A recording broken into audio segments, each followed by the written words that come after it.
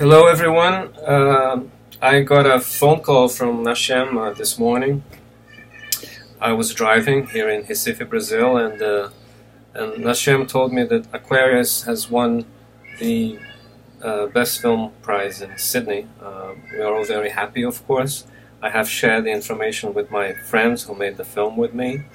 Um, it reminded me of a story that I'd like to share with you. When I was 15 years old in school, my English teacher asked me to prepare a talk about I could choose the theme. And I chose to give my talk on Australian cinema. And at the time, I had already seen a lot of the crazy Australian films coming uh, from the 70s, particularly. Uh, you know, things like um, Patrick and um, The Long Weekend and The Last Wave and Mad Max, of course.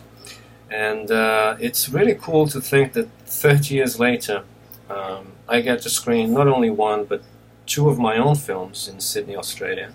Um, the first one was Neighbouring Sounds in 2012, also at the festival, and now Aquarius. And on top of that, it, I get to uh, to walk away with the uh, the best film prize.